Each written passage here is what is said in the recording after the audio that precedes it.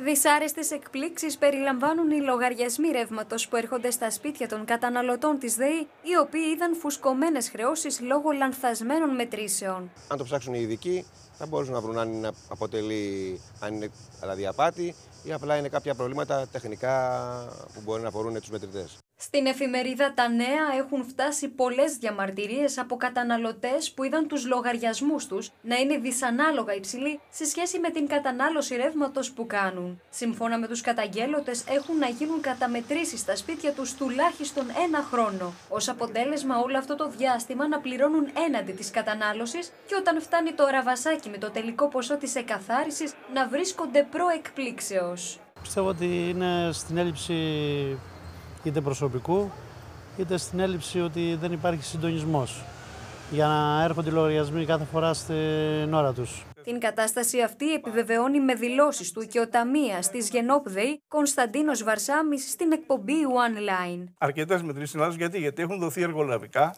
και εκείνοι που πηγαίνουν και κάνουν τις μετρήσεις ε, που έχουμε δει από τους εργολάβους που το έχουν πάρει οι ιδιώτες εργολάβοι τις μετρήσεις, ε, δεν έχουν δεν είναι ούτε απόφοιτοι του Λυκείου.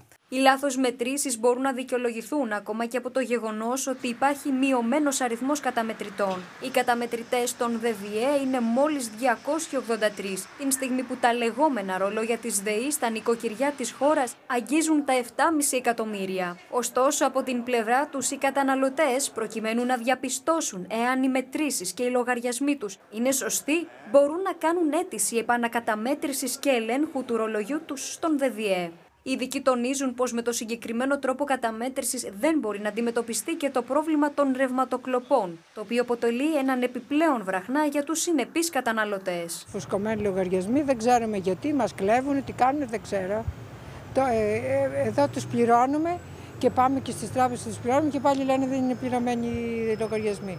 Στο πλαίσιο της βελτίωσης της καταμέτρησης πέρα από την πρόσληψη πιο εξειδικευμένου προσωπικού, μία λύση που θα μπορούσε να προσφέρει μία πιο αξιόπιστη και σε πραγματικούς χρόνους καταμέτρηση των ρολογιών θα ήταν το έργο των έξυπνων μετρητών.